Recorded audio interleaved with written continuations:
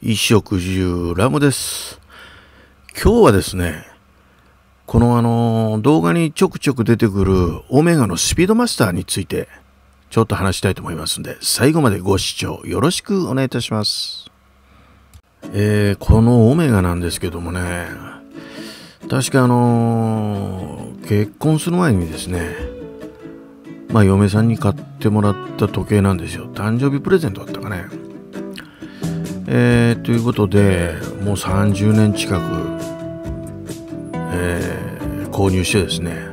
経ってるかと思うんですけれども、まあ、当時あの時計なんてね、どこのメーカー、いろんなメーカーあるんですが、オメガっていうメーカーもね、あんまりよう知らないで、えー買ったんですけれども、なんかこのあの針がいっぱいついてる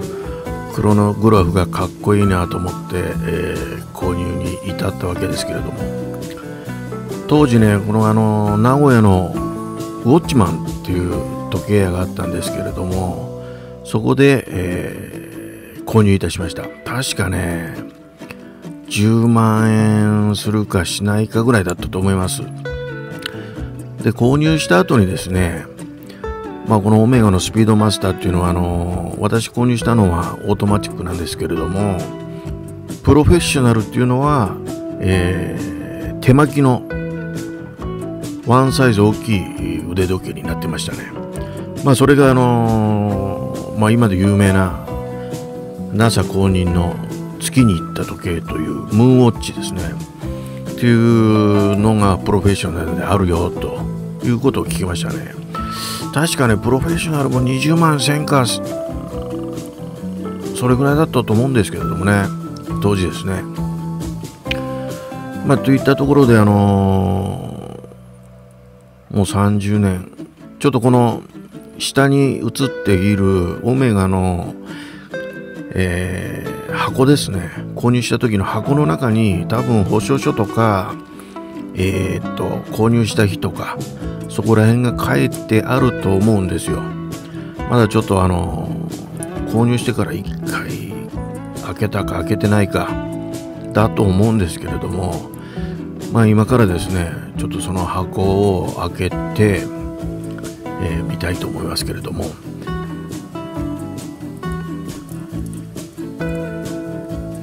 はいそれではね久しぶりだと思う。ので開けてみたいと思いますあこれは当時のウォッチマンの保証書ですねうん確かね栄と名駅にあったと思うんですが確か名駅で買ったと思うんですよねえーっと、オメガスピードマスターですね。1992年3月1日ですね。購入したのが。それから、2000、じゃない、ごめんなさい。1993年、えー3月1日までですね、保証が。ということで、1年保証ですかね。えーなってますね。ちょうど、どうだろう。もうちょっと、あと2ヶ月ぐらいしたら、31年。もう30年使ってますね。それでもね。あ、保証書ですね。これも。インターナショナル。それから、えー、大体あのー今まで購入してですね6回ぐらいオーバーホールはしてますねまあいつもですねあのー名古屋市内にあるまあ修理専門業者にね出してやってもらうんですけれどもだいたい3ヶ月ぐらいかかるかな。オーバーホールにね。値段的にはまああの普通の三針よりもまあちょっと割高にはなるんですけれども。やっぱりあのメンテナンスしないとまあリューズの動きが渋かったりね。あの遅れたりといったようなねことがありますね。まあ、オーバーホールで帰ってくるとあの本当にあの油もさしてくれてると思うんですけれどもスムーズに動くようにもなりますあこれ箱も懐かしいですねで去年なんですけれどもねちょっとやっぱりリューズの動きが渋くなったりとかなんかイオンがしてきたんでまあオーバーホール出したんですけれども。で出して戻ってきたんですけれどもね。またちょっとなんかのイオンがするしちょっと遅れ気味になるということでまあもう一度出したんですけれどもね。どうもねこう遅れは治らないしちょっとまだ渋い部分があるかなっていうのでね。まあ修理屋さんをちょっと新しいとこ開拓しようかなと思ったりもしてるんですけれどもね。まああのオメガのスピードマスターをまあこれ一つ30年使ってるんですけれども。まあもうぼちぼちですね次にですねまあ月に行ったら次は海かということでダイバーウォッチにしようかなと思いまして。オメガのシーマスタープラネットオーシャン。これをですねちょっと去年ぐらいからちょっと狙ってまして。まあいろいろとあのー、探してたんですけれども。こう名古屋地区にですねなかなかいいところがなくて、まあ、あの東京の方だとね結構あるんですけれども、まあ、あの飛行機代とかねあのホテル代入れても東京で買った方が安いぐらい。っていったところでずっと去年から見てたんですけれどもやっとですね名古屋にある名古屋の大須ですね。大須にあるゼットン。ゼットンさんにですね、えー、新しくこう入ってるのを見つけましてね。昨日ですね2023年の1月13日に購入してきました。今この画像に映っているこの大きい箱ですね。箱もかなりこう30年も経つとこのオメガの箱も変わってくるのか値段で違うのかちょっと分かんないんですけれども、まあ、こう中にゼットンさんのこの保証書もついてまして新品で購入をいたしました、まあ、ゼットンさんに行くのも初めてだったんですけれども店員さんのですねまああの対応もよくね、えー、しっかりあの細かくですねあの時計について、えー、教えていただきました。でゼットンさんのところの保証もあるんですけれどもあとはですね保険屋さんが作ってる、まあ、保険にもねまあ入ってきましたね。2年間で2万2000円だったかな確か。っていうのに入ってきました。まあこうオメガのこう発酵を開けると今度中に木箱が入ってましてね。この木箱ちょっといくらするのか分かんないけど木箱もかなりしっかりした木の箱でこの中にですね時計が入っています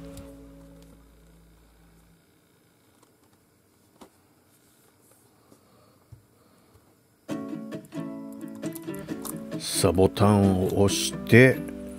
箱を開けると。まあ昨日あのゼットンさんでですねあのサイズを合わせてもらったんでまあ一回開けてますけれどもまあ家に持ってきて初めて開けますね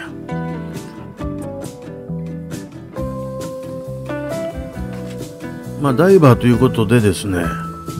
まあ、防水がこれは 600m、600m 防水ですね。ええ、で型番が215の30442103001ですね。だからムーブメントはキャリバーがオメガの8900と。それと、えー、メタス認定のマスタークロノメーターとそれから1万5000ガウス以上の対峙性能を持っているということですね。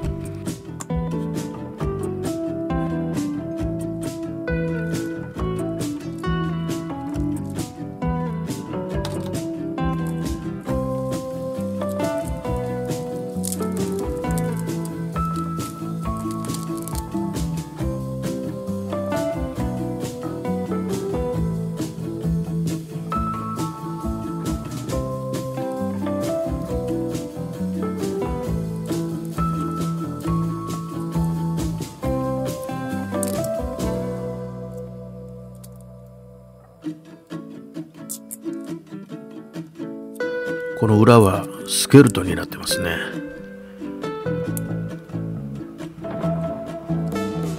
あのウェイトのところに8900という刻印も売ってあります。綺麗ですね。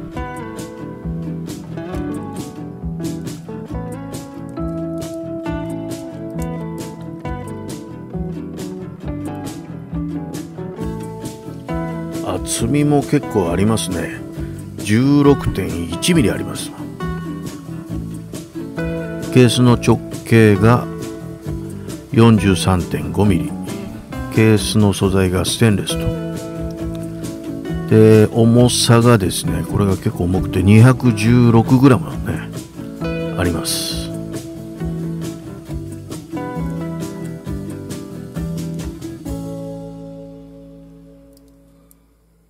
で、このベルトなんですけれども、なんかエクステンション機能がついてて、えー、っと、伸びるんですよ。伸びたり縮んだりと。要はあのー、海に潜ったりするときに、まあ、手袋をはめた上からでもこの時計をはめれるようにこう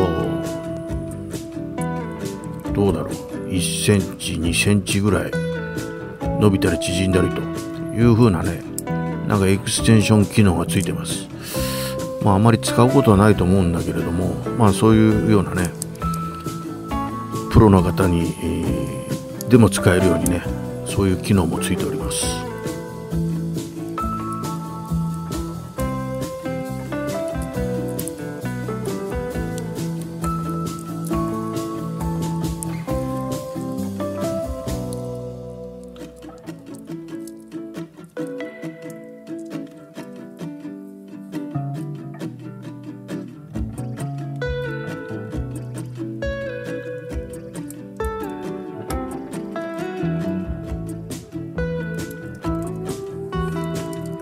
なんかこのエクステンション機能を触ってたらですね伸びちゃったみたいでちょっと元に戻そうとしてますけども。ここら辺もねあのー、親切に教えてもらったんですけれどもねやっぱり実際触らないとわ、うん、からない部分ですね。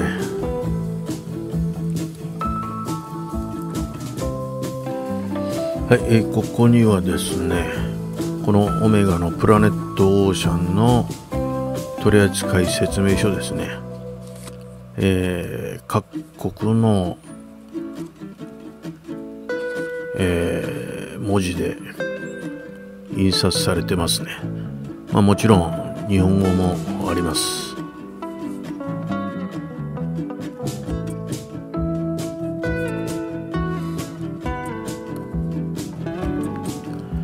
こちらはですね、まあ、オメガの保証書ですね。保証書と、この時計の使用書ですね。どんな仕様なのかっていうのが、このカードに書かれております。まあ、あとそれと、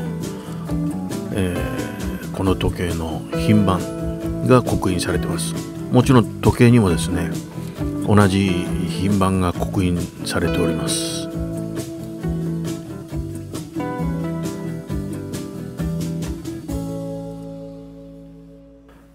これからですねこのシーマスタープラネットオーシャンを使っていってですねいいとこ悪いところちょっといろいろ見てみたいと思いますんでまたあのその時はですね、えー、YouTube にアップしますんでよろしくお願いいたします。ご視聴ありがとうございました。